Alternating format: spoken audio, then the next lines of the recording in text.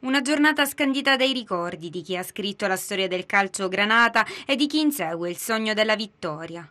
Sono i picciotti del Toro, i tifosi nisseni della squadra piemontese, insieme per raccontare i trionfi e le vittorie di una squadra che quest'anno ricorda i primi 40 anni dalla conquista dell'ultimo scudetto. Attorno al tavolo di un noto agriturismo nissano i tifosi Granata hanno condiviso un pranzo e poi un intero pomeriggio assieme a due vecchie glorie del calcio, Luciano Castellini e Claudio Sala.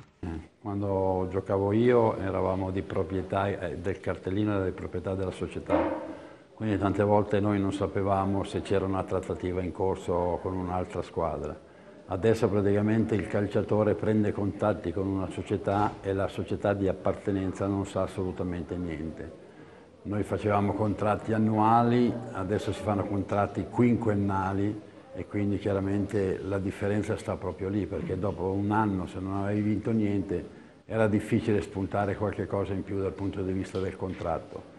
E quindi è cambiato tutto, sono cambiate le regole, sono cambiate le norme, portiere una volta poteva prendere la palla con le mani adesso non può prenderla e quindi chiaramente è un calcio completamente cambiato. Dire qual era più bello, penso che lo possano dire solo gli spettatori.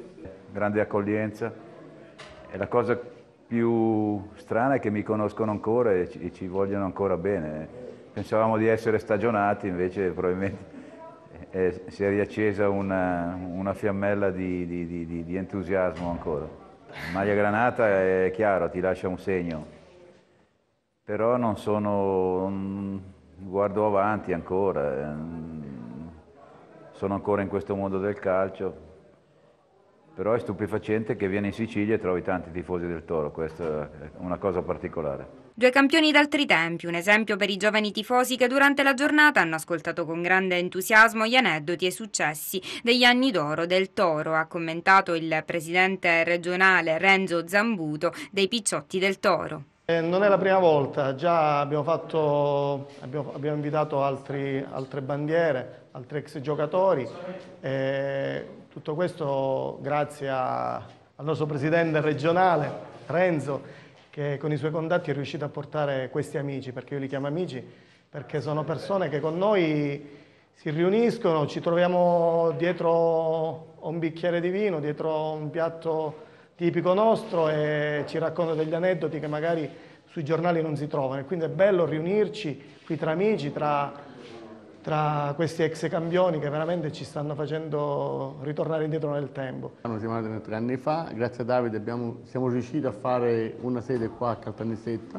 Lui era poco credente di riuscirci, ma siamo uno o due, infatti adesso siamo molto di più di uno o due credo e quindi io ho sempre promesso che gli portavo dei ex giocatori amati da tutti noi e lui ha detto proviamoci e boh, i risultati li abbiamo visti, no Davide? Ci sono, ci sono. Quindi noi continueremo su questa divertiti. via e continueremo a divertirci. Per noi è un divertimento questo.